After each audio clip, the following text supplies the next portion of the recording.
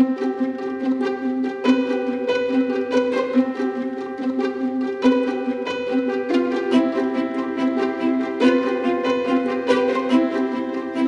Naumann Foundation, in a way, is like uh, the ambassadors of liberalism around the world. And for Liberal International, it is very important because wherever we go, we have advocates for our movement uh, that are on the ground that have a lot of information.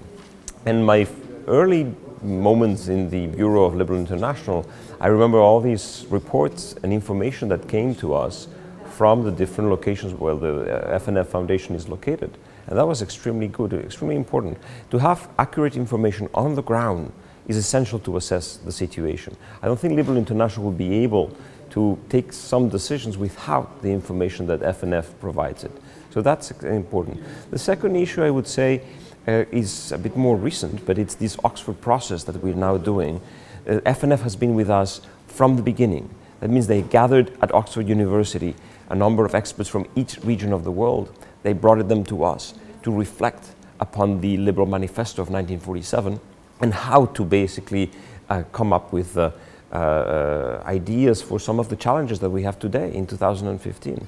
And that has been a perfect cooperation between the FNF Foundation and uh, Liberal International.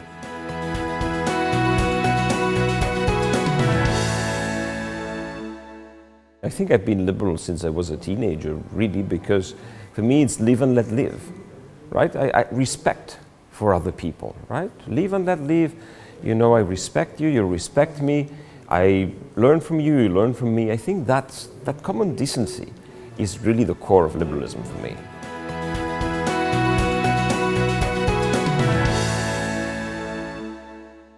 My wish for the region is that in 25 years there are no more challenges to liberalism like the ones we see today. Today, some leaders in the region call for illiberal values. They just want procedural democracy. That means like a few elections uh, in every four years and then they rule the way they wish. No.